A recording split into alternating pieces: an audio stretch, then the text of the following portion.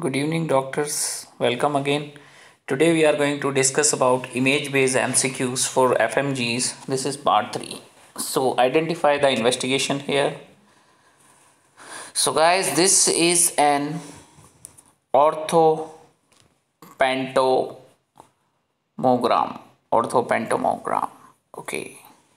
Now this CT scan reveals what is this? By arrow they mark. So this is an SADH not SADH this is an SAH subarachnoid hemorrhage okay.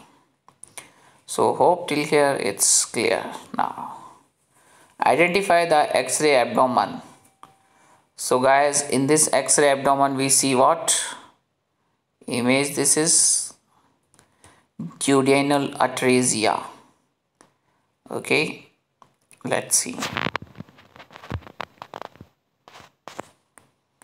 So this is an duodenal atresia image. Okay. Now let's see. Most likely diagnosis here is neurofibromatosis. This is a case of neurofibromatosis. Okay. Treatment of this condition. So this is an acne severe. So treatment here is by isotretinoin.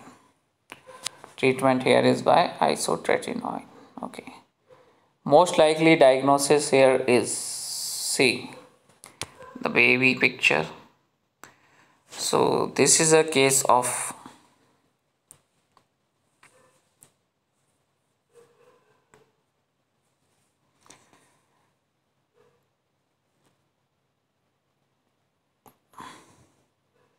let's see. Parvovirus infection. This is a case of parvovirus infection. This baby is a case of parvovirus infection. Okay. Now hope this image is clear.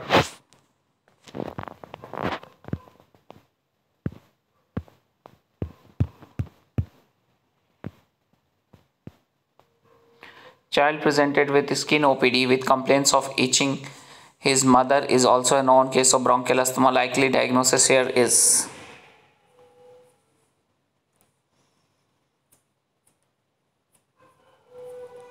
allergic dermatitis.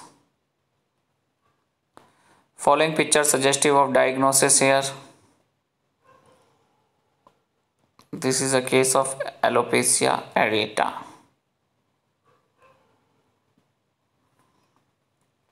This arrow indicates open reduction. Okay. Let's see. Answer key.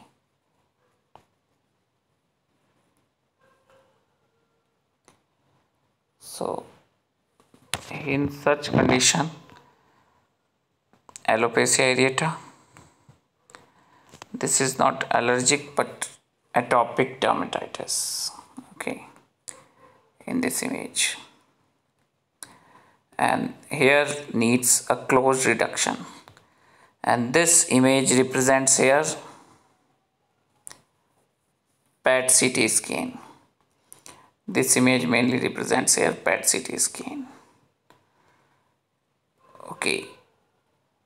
So guys I hope till here it's clear for you if you have any queries any question you can ask me. And if you are new on my channel please subscribe it. Thank you. Good day. Goodbye. That's all for today